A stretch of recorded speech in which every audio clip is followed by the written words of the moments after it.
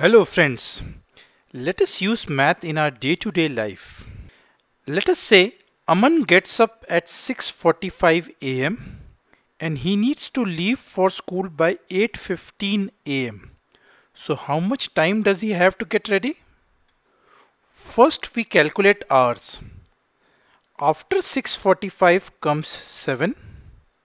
So 8 minus 7 is equal to 1 hour. Now we calculate minutes. 8 to 8.15 means 15 minutes.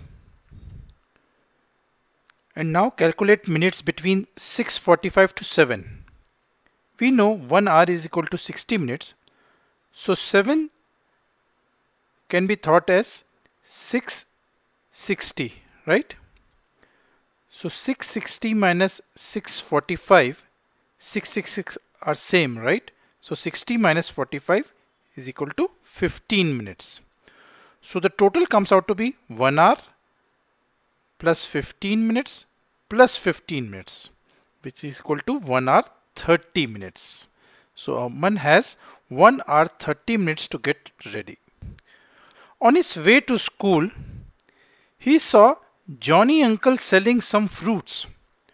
Johnny uncle says to Aman, I sold 14 kg apples yesterday.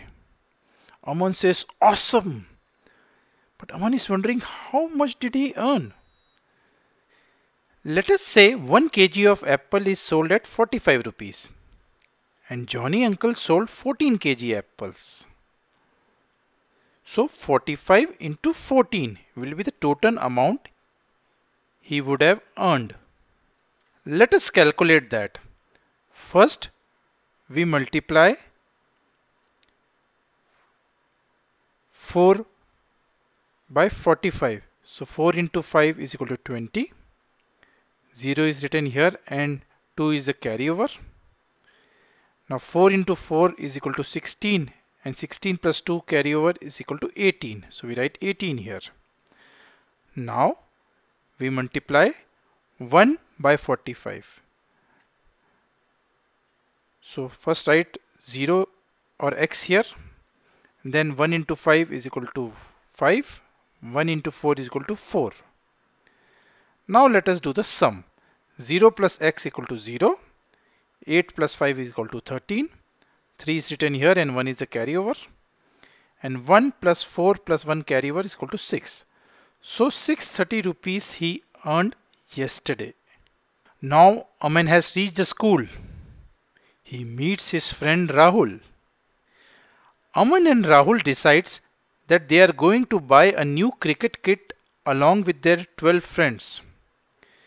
Each wicket will cost rupees 35, a ball will cost rupees 69 and a new bat will cost them 414 rupees. So how much money will they require? First let us calculate the amount required for bat and ball. 414 plus 69 is equal to 483 rupees. Now 3 wicket means 35 into 3. Each wicket is equal to 35 rupees. So 3 wicket will be 35 into 3 which is equal to 105 rupees. So the total money required is equal to 483 plus 105 which is equal to 588 rupees. Now there are 14 people Aman, Rahul and 12 of their friends. So how much each will have to contribute to purchase this cricket kit? 588 rupees required divided by 14. Let's do that. Right 588 divided by 14. Let's that.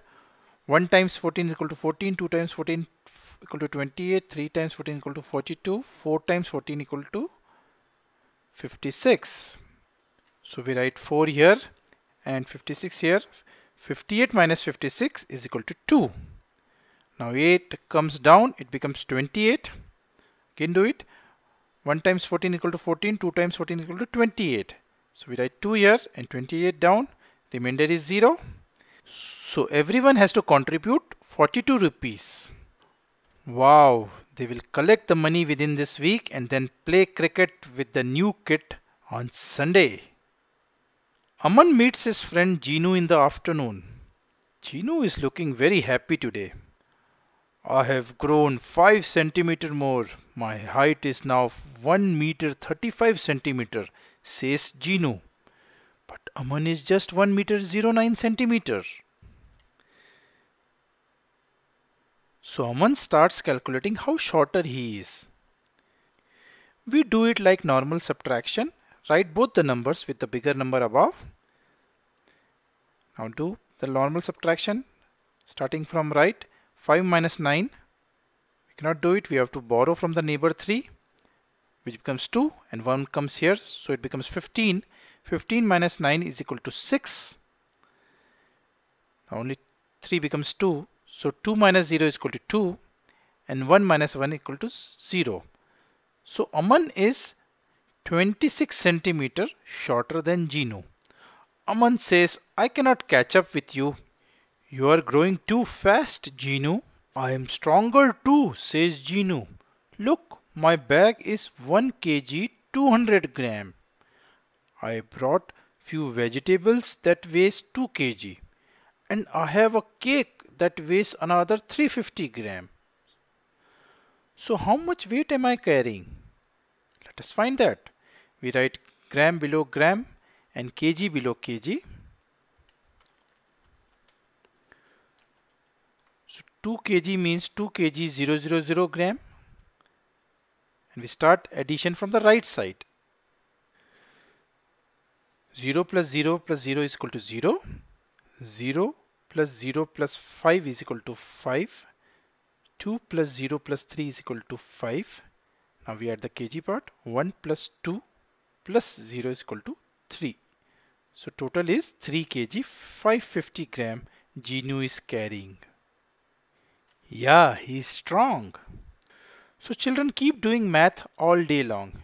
We do it whenever we buy something, measure something or compare something. We cannot live without math. Bye bye. Bye bye.